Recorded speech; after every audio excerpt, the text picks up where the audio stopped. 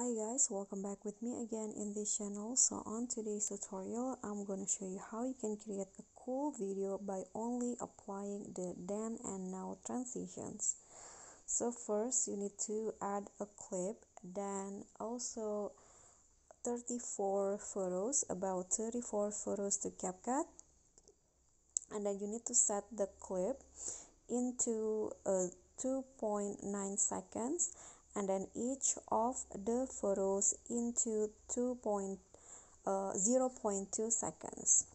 So it will go like this and then after that you can just click on the transition box and then here click on the overlay category and then select the then and now uh, transition and just click on apply to all so the transition will be applied to all of your photos and clip. And then after that go to video effect. And then here click on the nightclub category and select the black flash effect.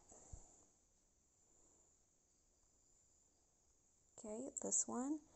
Click on a check icon and adjust the effects to only one second. So just trim it like this. Okay one seconds in here. Then after that you are done. So now the result will go like this.